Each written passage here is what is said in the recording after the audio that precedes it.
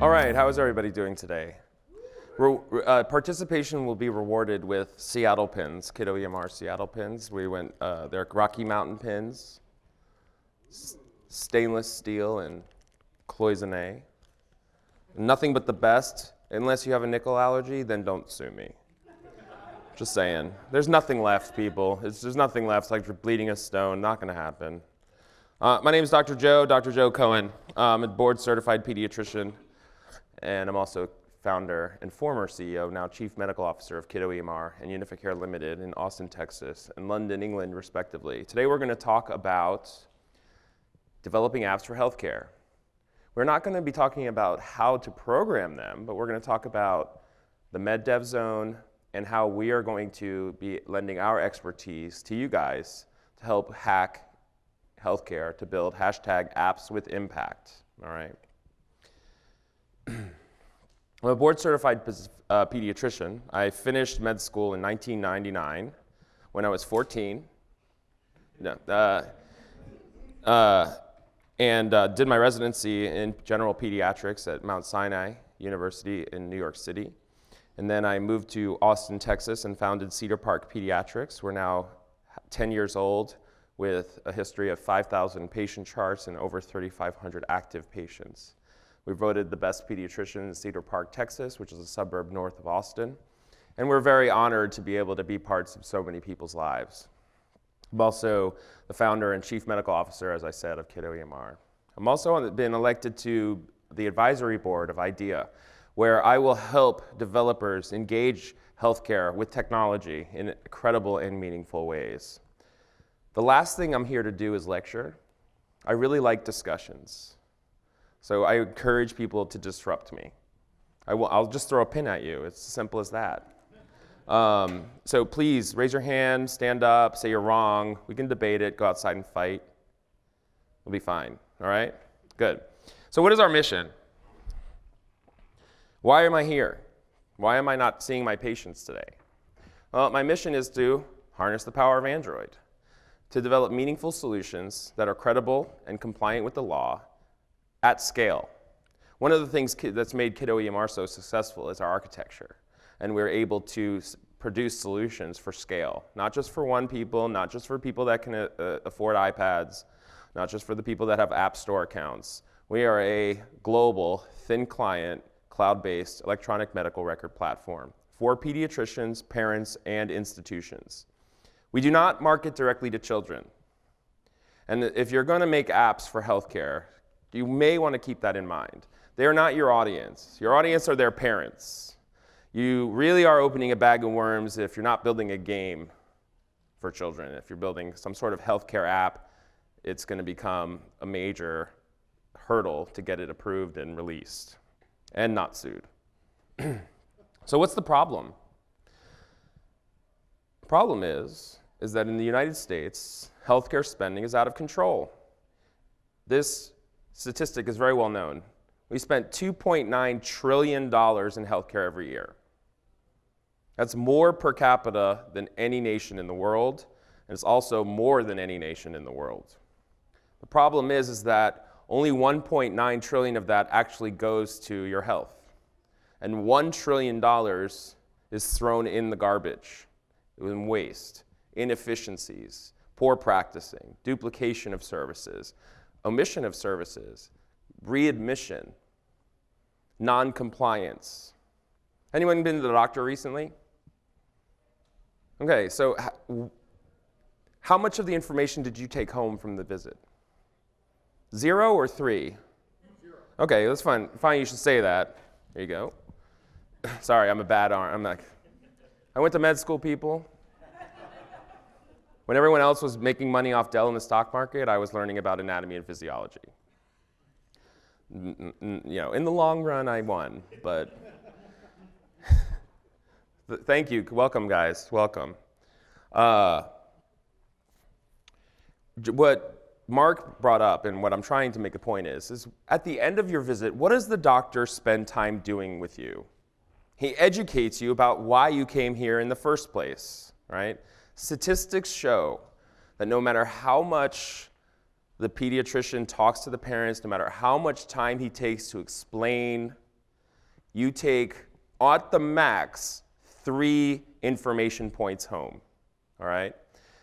I believe this is one of the fundamental reasons why we take $1, million, $1 trillion and throw in the garbage. Because I see patients all the time come back to me saying, We did what you said, and he's not better. And they didn't do what I said. They did what they thought they heard me say. And because there's no credible technology to transfer information from a doctor to a patient, we're missing follow ups, we're missing follow through, and we're missing patient compliance. Every mistake made in healthcare, whether it's intentional or not, costs us money in the long run. If you're a diabetic and you're being treated for ketoacidosis, which is a very bad thing, you basically spend a week and a half in ICU, three days in step down, and five minutes at discharge. Why aren't there platforms where information can be transferred to the patient, where the patient can engage their care provider after discharge? Well, this is the result a trillion dollars in, into the trash. A trillion dollars because of poor health information management. A trillion dollars due to poor, poor litigation and, and liabilities. All right? So let's move on. You know, until recently, as a physician, a physician who's very engaged in the tech community, I had no medical apps on this phone. None. None of them are worth my time. Recently found one. It's called Figure One. It's a app for, I didn't develop it, it's an app for doctors. It's like Instagram for doctors. We get to show you all of our patient rashes and everyone comments. It's in a HIPAA compliant fashion, but it's the first engaging platform for me.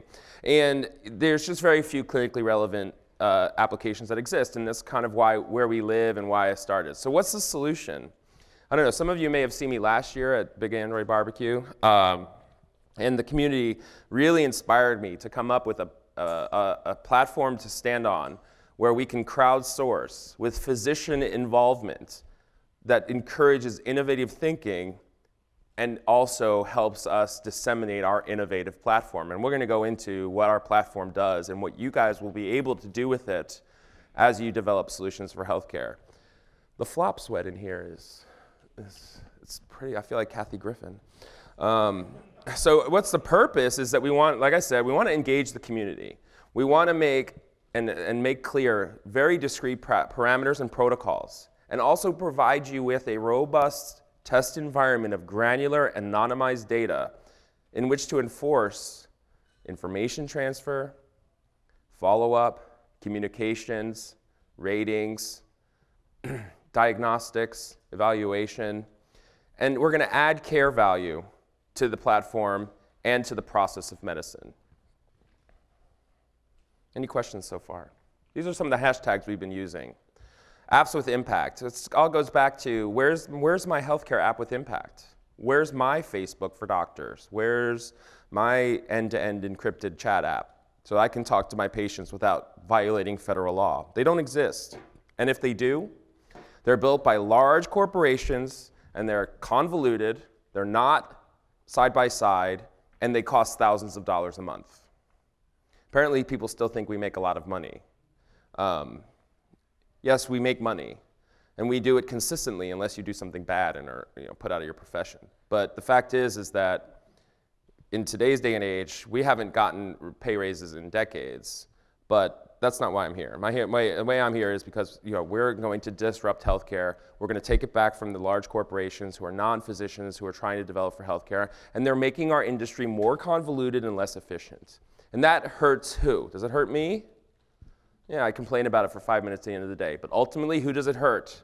All these children here, they're the ones that it hurts. They're the ones that get suboptimal care. They're the ones that have to wait so long during the visit to see their doctor that by the time the end comes, where the real meat of the matter is, the reason you're there in the first place, is like, okay, I'll see you later. That's unacceptable. We can't do it, and we're not sustainable. so, why Kiddo EMR? With Kiddo EMR, especially in the last year, we have established two outlets for your development the United States and the international market. Unificare Limited, our reseller, exclusive reseller in London, England, is going to address UK and India and eventually beyond, where your technology can be incorporated into what we're trying to do. And we'll also be giving you guidelines on how to address unique demographic populations. Remember that with a genetic pool comes differences in medicine, comes differences in treatment and outcome. One of the very simple examples is vaccinations. The United States vaccination program is a little bit different than the UK, but really different from India. Because of our architecture, we can adapt the protocol APIs for that, adapt the scheduling for that. But we really believe in an open architecture. Open source, I, I explain it this way. Our technology is not the electronic medical record. As a matter of fact, our EMR is open source. The technology is what we do with the data. Think about this. When everyone was using a quill and parchment, that was technology. The pen and paper came out and it was technology. But today it's just a pen and paper. And that's where we're going. Eventually, EMR and the data entry platform is really not going to be the technology, but what you do with the data, how you incorporate it, how you stream it, and how you integrate it with patients and doctors' lives, that's our technology. When we're using open APIs in an agile architecture in which to address very customized populations in a very customizable way. By the spring 2016, we will have an anonymized test data pool, a test pool of data, where your applications will be able to use these demographics and medical indices and values in which to sandbox your apps and play with them. we, as a company, we have four legs that we stand on. We're an EMR, which stands for Electronic Medical Record, data, which stands for data, uh, health information exchange, and an API, automated programming interface program company. Uh, we are built to be platform and device agnostic. We're built for Chrome. We believe in open, open APIs, Internet of Things support, and we actually have Google Glass support for image up upload. Some of the milestones. We went live at my practice in Cedar Park Pediatrics in February of 2015, which was quite a day for us. I remember with the agile architecture and the thin clienting, we, were, we went live, and there were some residual bugs left, but my co-founder literally was changing things on the fly, and we were moving on, moving and grooving. Since going live at my practice, before we had Kiddo EMR, we were using another EMR client. Uh, it cost us roughly the national average to process one patient visit, $58. We now pay $17.60. My doctors work four days a week, seeing about 25 patients, where most practices work six days a week, seeing 40 a day. And our patients have benefited for it. Between that time and around May, we realized we had something. And we went and filed the entity and started our business structure. And then I think you guys may have seen me last October. That's because of a ranting lunatic. Uh, by May, we had founded our company in, in London and now here I'm here to announce you know, our minimum viable product for our patient portal and a release candidate for our, our verification trials, and we're ready to scale. So it's an exciting time for us. And you. My slides are a little bit out of order. Does anybody have any questions so far? Okay. So how does this work? How does the Kiddo EMR developer core, the Med Dev Zone, and Kiddo EMR and Unificare and Dr. Joe and you people, how does this all go together? Well, there's first step is we want innovation proposals and discovery. Demonstrations. Some of them are going to come out of the code kitchen today, I hope. Value add propositions to our platform. Then we're going to collaborate together with the Kiddo EMR Developer Core, and there will be a link at the end to join that private community. And what, what our physicians will do, will provide ethical oversight to the technology you're trying to implement in healthcare. Remember, just in healthcare especially, just because it can be done especially with children, doesn't mean it should be done, right? We don't want Snapchat for STDs, right? That, I'm sorry, kids, uh, sexually transmitted infections. Herpes, you know, that type of thing. I'm treading on shallow ground here. So, so. Yeah. Are any of your parents here? Oh, okay, good. Don't, just don't tell them you saw me today. But ethical oversight is very important. And that kind of has to do with why I've moved over from chief executive officer to chief medical officer. As a matter of fact, the president of the American Academy of Pediatrics on LinkedIn, he's like, Congratulations on your promotion. Which I didn't really see it that way. I was like, But I want to be in charge. but after seeing what Raj, our, our CEO in London, has to deal with, I'm like, Thank God I don't have to do that. Uh, and step three is publish, right? Publish. so, what is the technology? This was actually taken through glass in my office. I have permission to share this, so don't call the lawyers. Uh, so, our technology, we talked about this EMR data API and HIE. So, let's start with the EMR electronic medical record. It's pretty simple. We basically are a data entry portal with a HIPAA compliant database for the entrance and maintenance of your healthcare information. What, whose doctor uses an EMR here? Anybody? God, you need to find other doctors. How, who's writing on paper? That they, they could walk in, their doctor writes on paper. Paper. It's, it's not bad. It's pretty much the way it is, unfortunately. It's sad, you know. Why does anyone want to know why their doctor's probably still writing on paper? Anyone have any ideas? Yes. Funds. Smart kid. We need here, take my card. Here, give him a pin. Give him a pin. I should probably take him out of the bag first before I throw him. It's aerodynamics. Physics was never my strong suit. Yes, another one.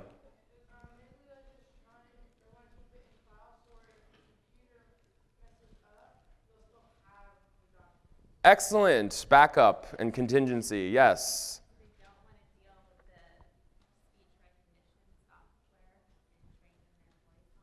Okay.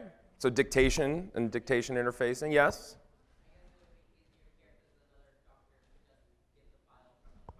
These guys are rock stars. I don't know any of them, by the way. I didn't ask them to come here. One more. Let's go for, uh, on the right there. We, both of you will have a chance. Don't fight. First is pick first. On paper? Okay. What happens if you lose it, though? No indexing, right? Dewey Decimal System? Do you guys know what Dewey Decimal System is? Okay. Well, I'm old, I know.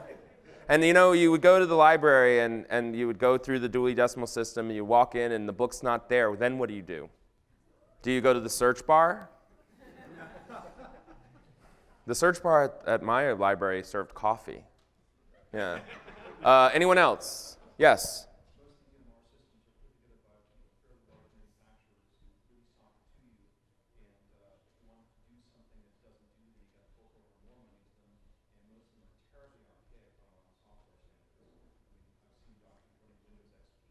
Yes. Yes.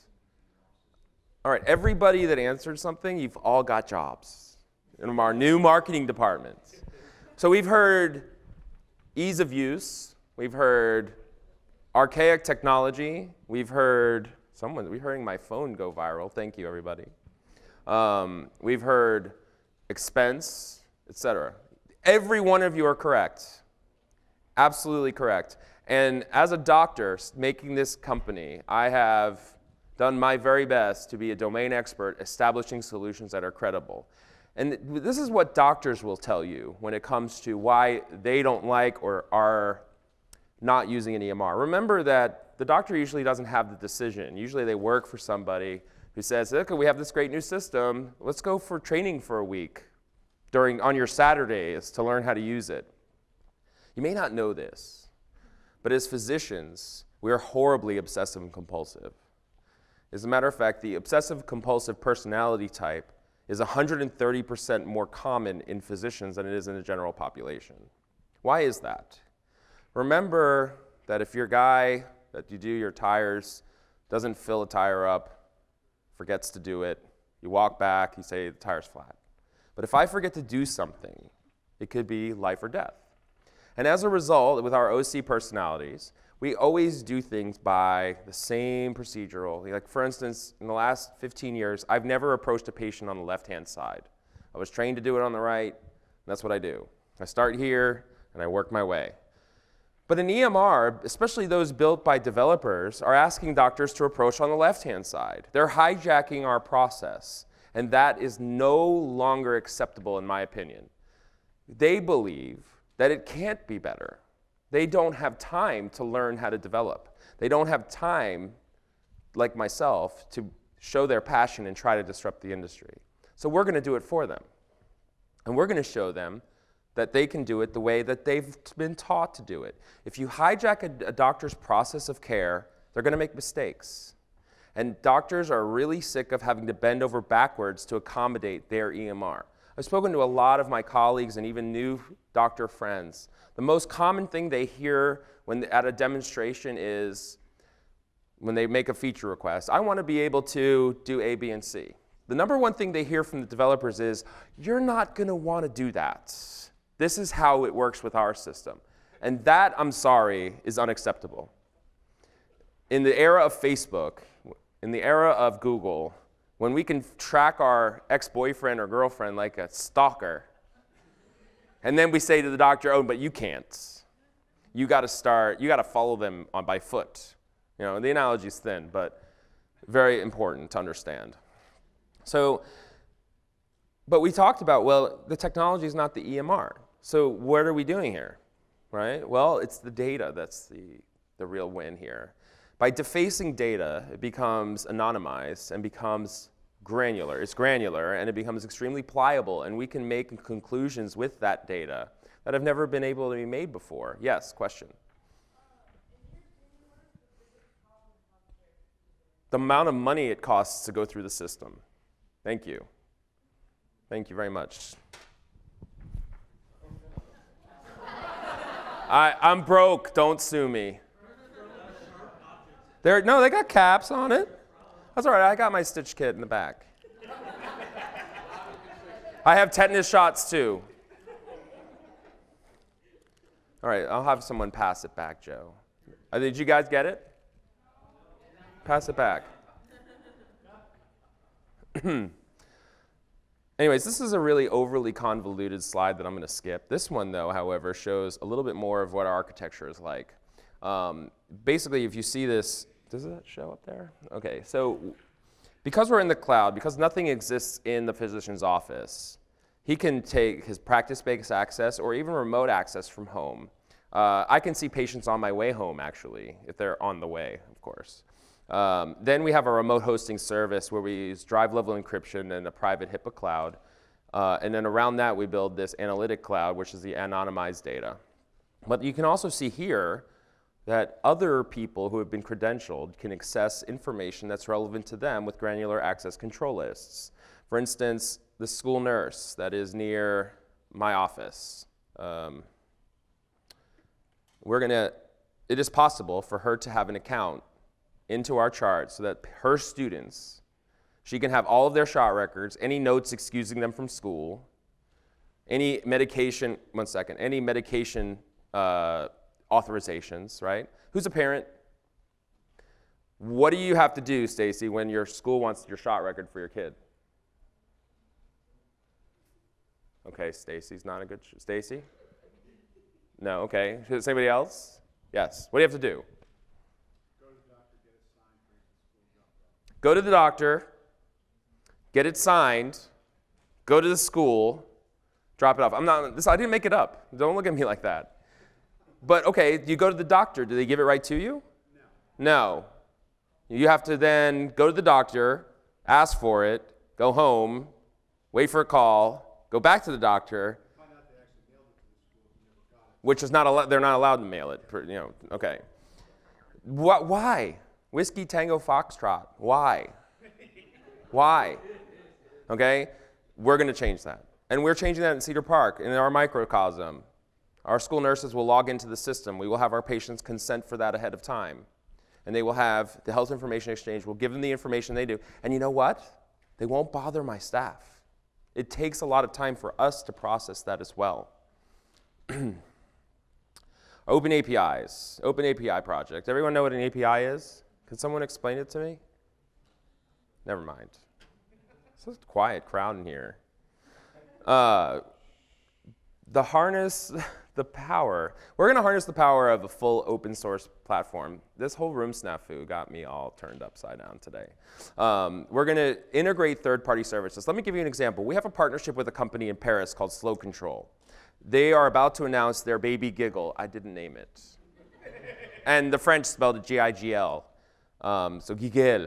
Uh, what it is is a sleeve that's Bluetooth enabled with an inclinometer and volumetric sensing. So, okay, who has a baby? You, you pour it, you, you need to keep track of feeding. You Pour it in the bottle, you measure it, you put it, write it down, give the baby their feed, write down how much they ate, how long it took. What this sleeve does is it actually knows how much you poured in the bottle, it senses to the parent the best angle to hold the bottle, and it evolves as they feed. And also records volume, lumps, air feeds, rate of feed, and presents it in a graphical format. So, when a patient brings their newborn to me, I sit there and I say, okay, how's the feeding going? Good.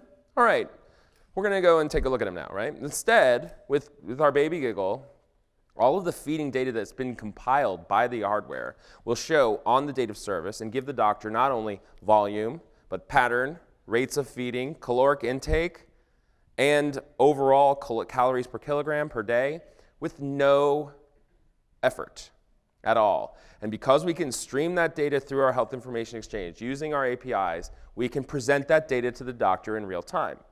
And the parents are more engaged as well because they know they're getting good data.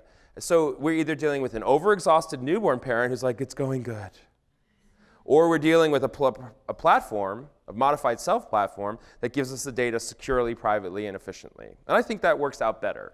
There was a question over here. Please.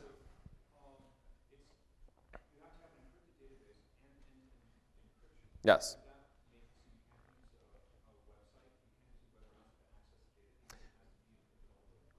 That's a good question. And I am going to be, my co-founder's here and is going to talk a little bit more about that in a few minutes. And I want to stick with that question in a second. But uh, it, what, what the answer is, it does have to do with you know, end user authorizations as well. Uh, so your level of security is you know, my login to the platform, uh, timing out, auto timing out so that you, no one else can walk up behind you and see it, the logging in on your device and whatnot. Also, the fact is, is we don't sync to our workstations, we expose to our workstations. But we'll have more on that. Okay, I didn't leave any of that round, uh, out, Ron? I left some out? I got it. My talk last year was titled, I'm a doctor, not a developer. Yeah. Let's see some of these things in action. Well, it was, yeah, tears, I know. Okay, let's talk about camera support, right? These are two diagnostic images I took with Google Glass. These are images that are actually in patient charts. And patients who have doctors that write or use most conventional EMRs, this finding would be documented as this one on the here. This one is two flesh-colored keratinized papules with central punctate ichthyosis of one to two millimeters on the extensor surface of the right elbow. How long does that take to type? It takes about 45 seconds to a minute for me. Med students, maybe two to three, five minutes, right? Instead, I take the photo, it shows up in the chart, and we move on. So I'll annotate here instead, volar surface right elbow. Okay, and the other one, large macules of alopecia consisting of vellus hairs and exclamation point hairs of 25 to 30 millimeters on occiput without any signs of rubricale or dolor. Or we can, say it with me, as a matter of fact, we're in for a treat today. I'm actually going to show you our demonstration server and that's how that works. So this, these are mock patients. Let me, uh, let me hope that that's not, is that the minimize one? There. Ah, sweet. Uh, so in a patient's visit, we're going to actually use just the device hardware because this module requires us to be on a secure network. Um, we have an image assessment. Whoops. Network. Oh, is it going to do that? There we go. So our image grabber, you can actually capture the photo. It's going to be a little slow because the network here is so fast. So, yeah. So here we are. I'm capturing. Now this camera can be anything. It could be your camera for your cell phone. It could be Google Glass. It could be the, something like the HTC Re camera and we capture it. Look, I look great, don't I? 43 tomorrow. Uh, we capture it. It takes forever because we're not on my own network. It goes into the date of service here, and I can annotate going to be 43. Save it, And now the information showing up on the date of service. And I'm going to show you a little bit more on this, a few examples on how that actually means something.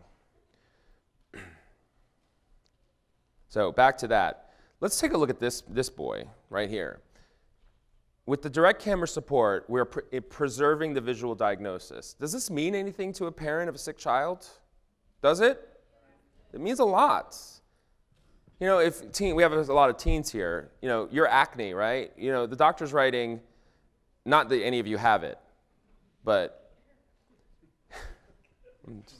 thank you, good night. STDs and, and calling them all acne. That's great.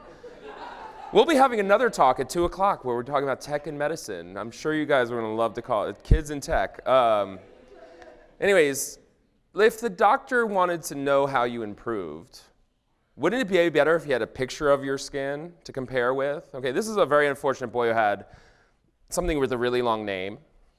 And it, the top picture is when he came to see me first. So then I did some of my magic, and we look at the bottom picture, and that was about a day or two later. Is there any doubt in your mind that this patient is improving? You all have honorary doctorates. You just did it.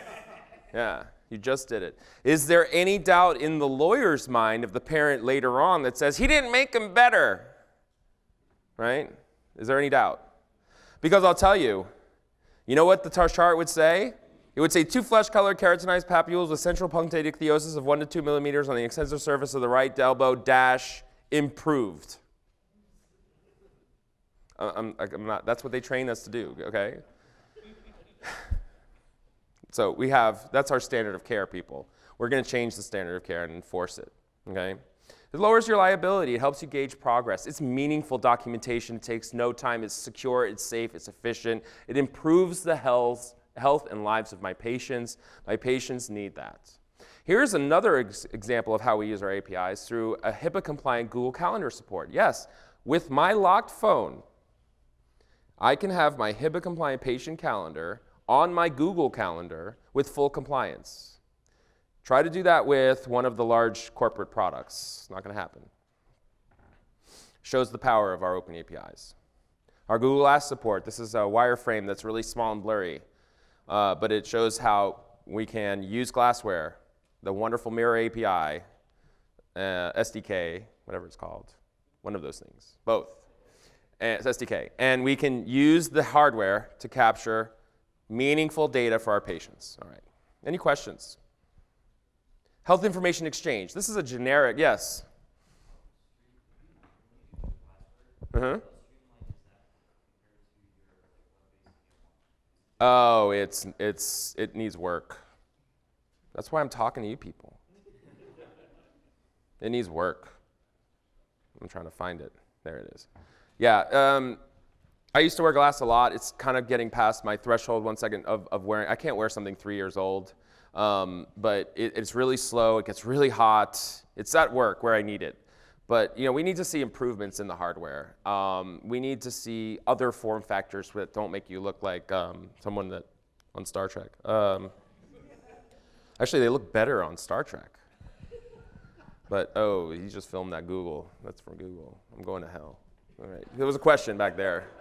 Yes.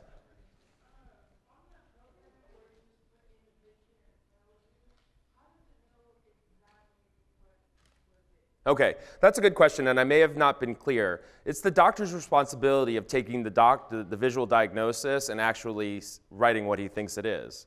Um, in, in, the medical data format, I'd take the picture and in the assessment section of the plan, so we have a child with that rash, that first one is actually what we call is just some warts. So I would actually assess it as warts and, and write in my treatment plan. So the, we don't, unfortunately, we, are, uh, we cannot make technology legally in this country that acts like a doctor. We can only make technology that assists the doctor. So otherwise, you put me out of a job. Health information exchange. The universal adapter for the efficient, streamlined transfer of HIPAA compliant data, no matter what it is. It's all ones and zeros. Thank you. Am I sweating more now? Did I pee my pants? Oh, sorry. and it, it can be used for any amount of data. Remember, we're laid, we've laid the infrastructure down. We've established the data, personal data transfer protocols, and this is where all of it gets really exciting.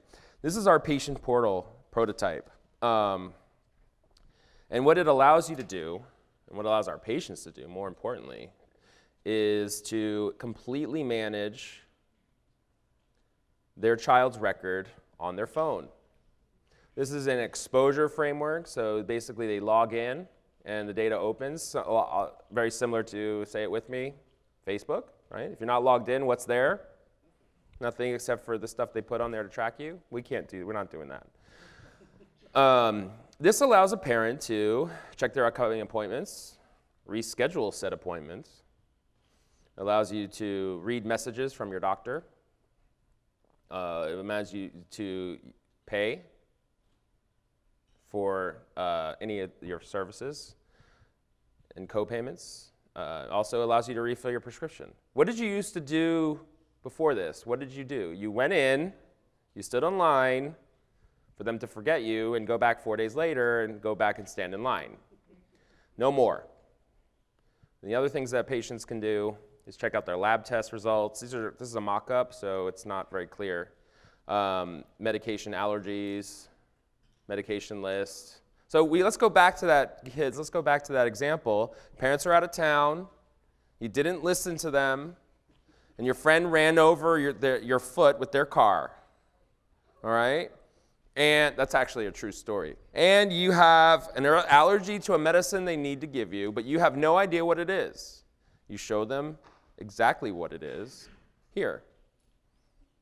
It saves time, saves lives, saves money. Yes, in the back. Eventually it will. It doesn't. And he asks if it has access to insurance information. it's not in the best interest of large healthcare conglomerates to uh, expose their data. So there's tons of different systems. They're not all meeting the same convention, but eventually they'll see it our way. And if they don't, then the patient can help you know, advocate for their own data transfer. The patient can do whatever they want with their data, but that's a great question, and you know, we're going to just have to disrupt the industry until they see it our way. Yes? That's a good question. And that has to do with the way that the database is encrypted and also in the, our, our hardware infrastructure. And we'll get a little bit more into that later. Most of the data breaches, as a matter of fact, all of the big high profile data breaches that you've read in the news, they all had their data stored with no encryption. Like Anthem was one. There's, just, someone just walked up to the server with a thumb drive, stuck it in, took their data. Okay, so also reports, whatnot. Let's go back to the presentation. It's exciting, isn't it? And it's going to save us time. So imagine a patient has a picture from the rash from last night, right? They can actually take the photo, store it in the app, and the doctor pulls it out of the cloud and puts it in their chart. So the patient came in, this is what it looked like last night. This is what it looks like today in my office, and then tomorrow, this is what it looks like. Yes, in the back.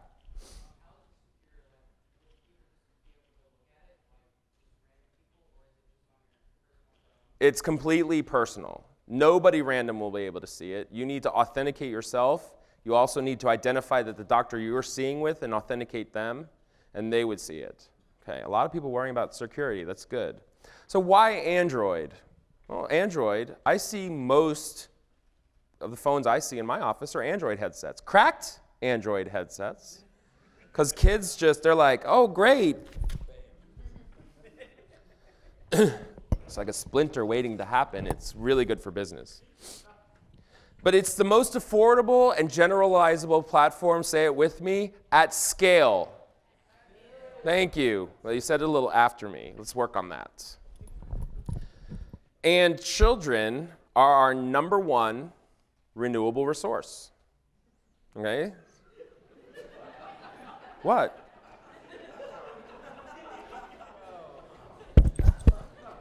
They are. They are. What? Okay, cell phones. Did I say something wrong? Special considerations to healthcare, uh, affordability, accuracy. We don't want to portray our, our information with it less accuracy, privacy we've talked about. And also, one thing that we don't always talk about is accessibility. You know, you may not see a lot of children in wheelchairs at the mall, but you see a lot of children with wheelchairs in my office. What does that tell you? That your audience is more likely to be a specialty audience. And you better bake in some accessibility for them because they're just as entitled to this revolution as we are. so keep calm and follow the prime directive. HIPAA, the Healthcare Information Insurance Portability and Accountability Act, which really has nothing to do with portability at all, is all about keeping data private, keeping it protected. It's the prime directive of healthcare information. and we're going to keep going. So, uh, oops. I'm going to introduce my co-founder, Ron Criswell. He's the tech guy, and he's going to take a few minutes to talk to you guys about how we've established our HIPAA-compliant architecture. Please welcome Ron. Ron Criswell. Try to answer some of the questions that people brought up about how we have implemented a lot of this, these tasks and, and how we're going about making the software and the, the data accessible and still maintaining security and, and protection of that data. We have kind of two goals that seem to be opposite ends of the spectrum. We want to make a fairly open, easy to use, fairly simple um, platform and API that encourages development and encourages people to use it. At the same time, we need to make sure that we adhere to all of the, the HIPAA requirements, that we maintain security, that we maintain privacy in that data.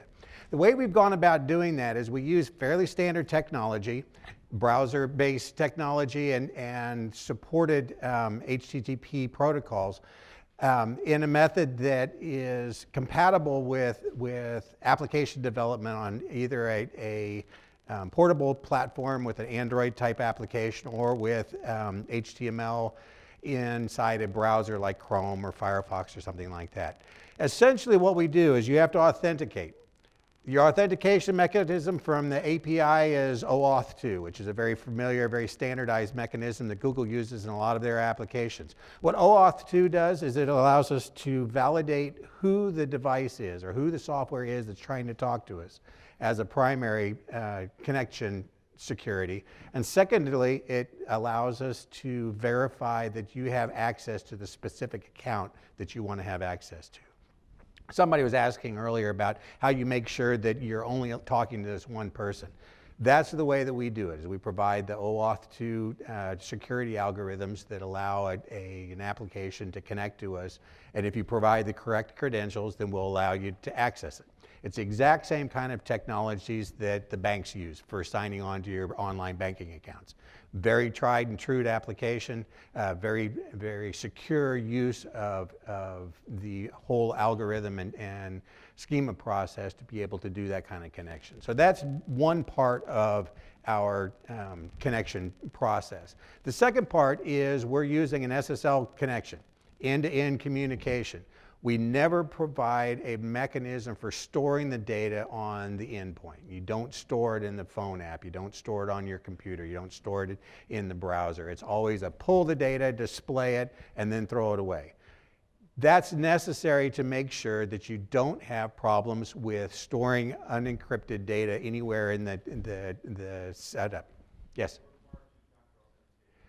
We're not doing two-factor authentication right now. We could do it, um, and we're kind of looking at that as an, as an alternative for future mechanisms. Like I say, right now what we're doing is we're checking to make sure that the application that's trying to talk to us is our application or it's an approved application. So the application has a set of credentials to authenticate itself, and then there's a secondary level for the authentication of the individual records that they're trying to access. That's as far as we've gone with it right now.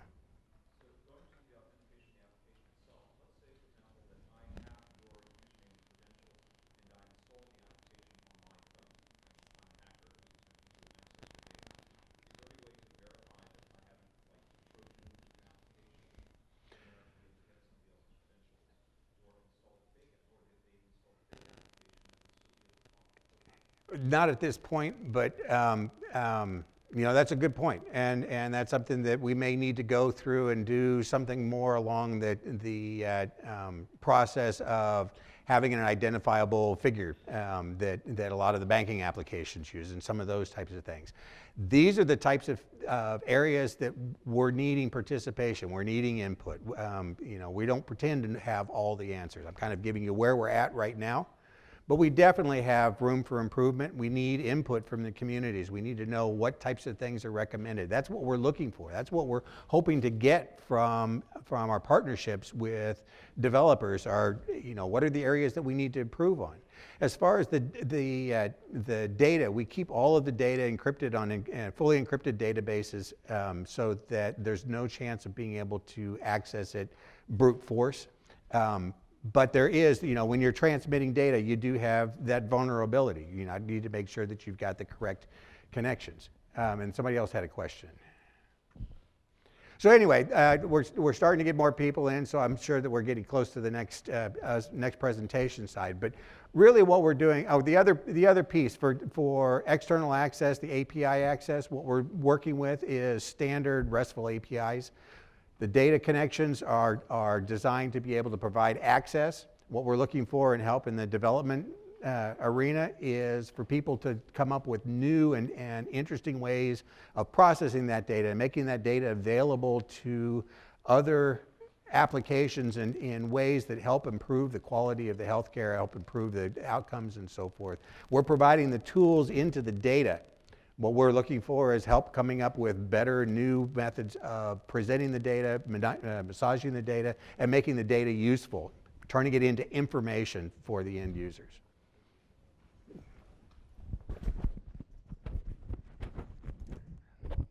Thanks, Ron. Thank you. All right, did that clear it up a little bit? A couple of things uh, right now, we do have stopgap measures for two-factor. Um, any of our cloud-based access, you need to authenticate through a VPN before you access it, and then our actual native uh, site of practice, you actually would have to have uh, the credentials for the network as well. Uh, so we're very well aware of. excuse me one second. We're very well aware of the need for two-factor authentication. I think that it's very important. Uh, we have other ways of solving it is using two-factor and putting our, our pay our login wall behind maybe Google Apps for Business, Google Apps for Work, where you actually enforce two-factor that way. But one of the things that we've been looking at with the, the mobile technology, how does the patient link to the doctor? We, I feel that we use kind of like a Bitcoin model where you scan a code or you enter a code that's unique to that physician that you can only get there at that office, and that connects you through the application to your chart and your provider. But these are excellent questions and exactly why we're here. because we need your help. We need your help to take our uh, platform and present it to our patients and hopefully your patient, uh, patients that you know and people that you know as well. And this is the process. Basically, you're going to come to us with a discovery or proposal. You'll present your ideas to the developer core or to us directly. We will then go and vet it with medical and ethical advisory board that we already have in London and here in Austin, uh, here in Texas. We'll actually analyze its practicality, the ethics, and if it is indeed uh, apps with impact, right? Then we'll go through prototype and testing, and analysis for HIPAA compliance and usability, and finally release of an MVP with reiteration and update process. it's time, guys. We can innovate, disrupt, save money, save lives, make apps with impact. Actually, this right here is the London store, the Google store in London. It's, if you're ever there, it's on uh, Warren Street and Tottenham Court Road. It's a lot of fun. They have a little spray painter. It's a digital spray paint bottle that you can actually pick your color and spray paint. And what's, of course, in tr true Google form, when you shake it, it, it makes the sound like little balls running around in it. It's, it's pretty neat. I go there every time I go, and more than once. So if you're interested in working with us, this is QR code will take you to the, to the DevCore page. And you can also search it on uh, Google+. Please join. It's a private community because we, we just want devs, all right? Devs and kids. Well, you know, and people that are interested. We just don't need trolls and people that are not relevant to the project. this is not a bridge in Denmark. Um, you can also hit me up at my email uh, on Twitter at IKC or at Kiddo EMR, and then plus Joey Cohen MD or plus I am Dr. Joe Kiddo EMR because that makes a lot of sense.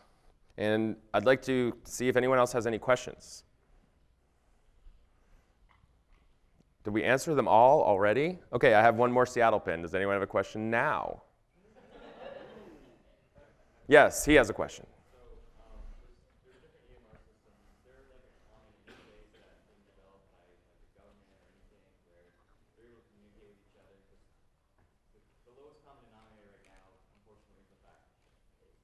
Okay, I'm going to reiterate your question. It's a good one. What he asked was, there's a lot of EMR systems out there. Is there a common framework for transferring information?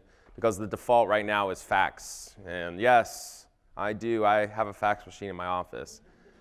My name is Dr. Joe, and I'm stuck on fax machines. Uh, it's disgusting, isn't it? Absolutely. Um, and there are. There's a, the CDA, Clinical Data Architecture Protocol, HL7, Health Level 7. These are open source standards that are prepared to handle the transfer of data. Uh, Kiddo EMR is, we just finished our C-CDA uh, architecture import-export. We can actually take information from anybody's EMR and incorporate it into our platform. Unfortunately, most EMRs don't want you to do that which in my mind is corporate greed interfering with the health and well-being of children in this country and others. And, and so we're using open, open protocols to help facilitate that data transfer as well. Here. Um, I know, it's like, we can edit that out, right? Mm, yes.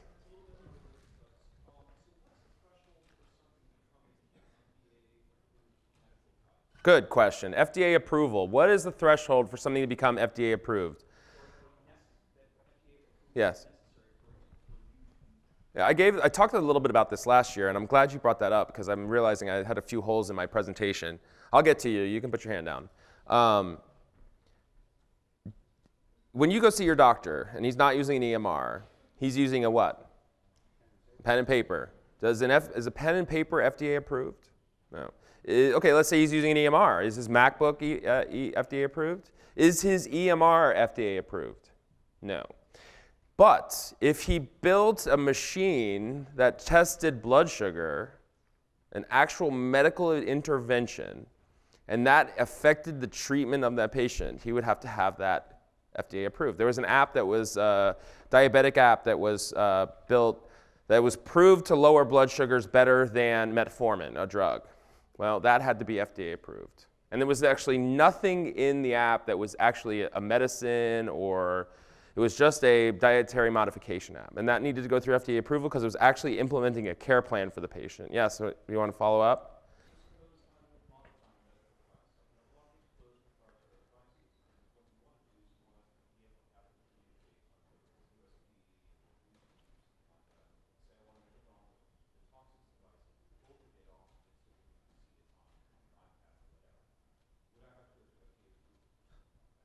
If you were building, you would need to go through the reliability of the, uh, the device to actually tell you what its actual the truth, and that would require the FDA approval. But let's say you were building um, like a Chromecast for an app where you can project, and that probably wouldn't need to be. I'm sure that there's gray areas in this, and that's a great question. I'd like to talk to you more afterwards about that. And really, what he's asking is, where's the line? In other words, where does the line between HIPAA compliance uh, sorry, FDA approval and not needing FDA approval. Where's that line drawn? And right now it's drawn through medical intervention, and evaluation and management tools, uh, and treatments and therapies. Uh, does it mean that you know we can't do a handshake, a data handshake? I'm not sure. That's a good question. Who else? Yes.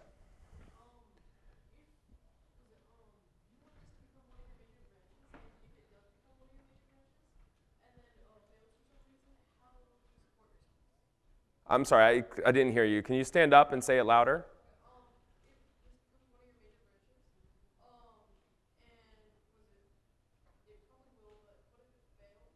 Hmm. I don't know. That's it's tough over there. I didn't. I didn't think about that. Um, go on welfare? No. that's, I mean, I, look, I, I'm a, you know, I, I don't, a lot of my family, when they see me on LinkedIn being CMO of this and doing that, they're all like, congratulations, we knew you'd be successful. I've been running a practice for 15 years. That's my success. And, you know, if, if this, if like we were to go, you know, massive electromagnetic pulse tomorrow and every computer was died and fried, I just go back and see my patients again. But as far as you guys are concerned, what we're trying to do is build an ecosystem. We're trying to build a standard for the care of patients. And the cloud and the, and the architecture is there to satisfy the patient's needs long after I'm in the ground. you know, this, there's a famous quote: if your goals, if you meet your goals or you set your goals to be met by the end of your lifetime, you aren't thinking big enough. And really, what I'm trying to do here is just the start. So that's good. And hopefully, with great minds like you all contributing, we won't have to worry about failure. Yes, in back.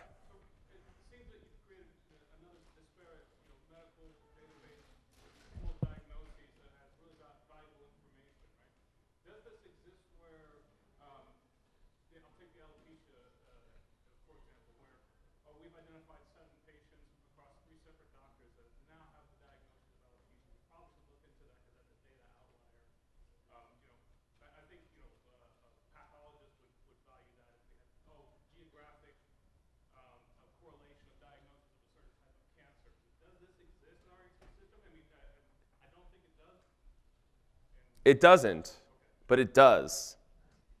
Okay, that's a bit weird. It does, no. That's our plan, okay? We, the data exists. We have a very robust 10 year uh, history, historical granular data.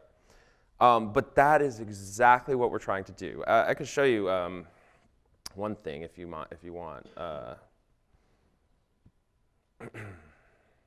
I did a heat map. I took this, I had to do this, pers- this I did about a year ago myself, and I did a heat map. I used a weather mapping algorithm, and I took my data from, uh, can you guys see that?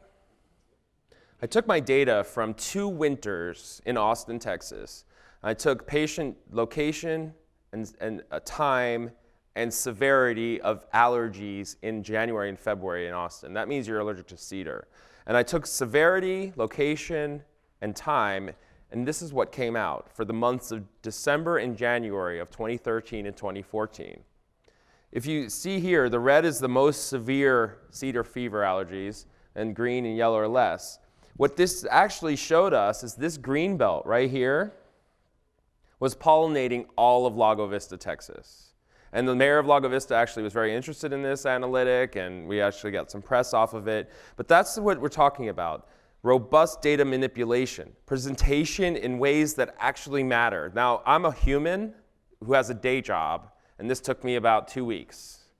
But with a, the proper architecture, proper programming, the proper brilliance, we're working to have this done autonomously, credibly, and in real time.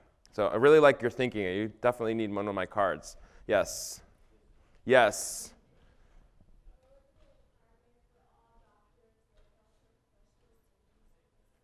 She's asking, is this going to be a requirement for all doctors and, and healthcare professionals to use it? No. In, in, in, the, in England, the National Health Services tried to make something a requirement for doctors in England in 2012. They spent $15 billion on a solution and had to mothball it because doctors don't like being told what to do. Go figure. We tell you what to do all the time. And our solution is bottoms up. We are going to make, we, you know, already the cost savings is making it pretty undeniable uh, argument. But you know, why do people use Facebook? Because they want to have that convenience. They want to know where their high school friends are. They want to be able to share pictures from when they were kids. They want to use it. Doctors want to use this. It's just we need to get it to them, right? And it's going to take some time. Well, who else? Am I missing anybody? All right. Well, thank you very much for coming. I want to thank everybody for paying attention and. I'll be here all week. We have um, 2 o'clock a Kids in Technology fireside chat in room 6, and also the big barbecue's coming up tonight. I don't know if you guys have had Ray's. Uh, it's amazing stuff. So thanks for coming.